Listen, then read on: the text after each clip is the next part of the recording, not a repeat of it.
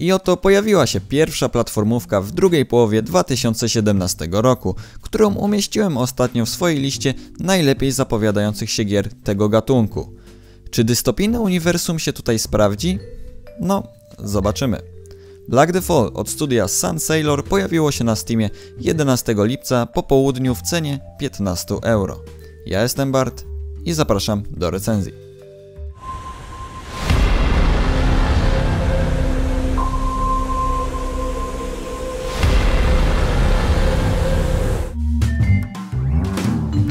Cały świat znajduje się w czasach pogrążonych ideą komunistyczną.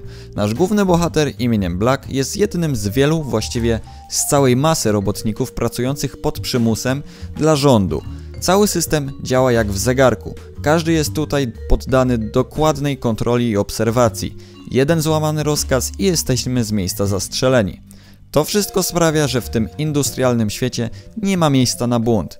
Jednak pewnego dnia drzwi ulegają awarii a my, nie zastanawiając się, próbujemy uciec i odzyskać wolność. I to właśnie w tym momencie zaczyna się rozgrywka.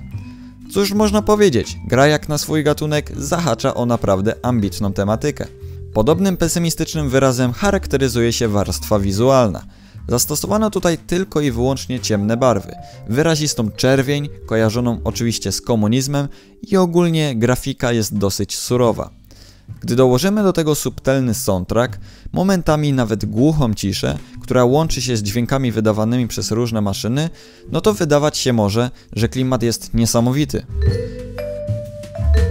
Jednak to wszystko przesłania nudny gameplay. Co prawda znajdziemy tutaj zarówno liczne i całkiem trudne zagadki środowiskowe, zagadki logiczne, jak i elementy zręcznościowe. W niektórych logicznych zagadkach będziemy musieli posłużyć się desygnatorem, czyli przedmiotem, który w pewnym stopniu umożliwi nam kontrolować maszyny, a w innych pomoże nam nasz późniejszy roboci towarzysz. Ale te wszystkie sekwencje, jakkolwiek ładnie wyglądające, to ich animacje jednak są strasznie powolne. W niektórych momentach musiałem po prostu stać w miejscu przez dobre kilkanaście sekund, żeby poczekać aż coś się stanie. Na przykład, żeby przypłynęła do mnie łódka. No trochę to absurdalne.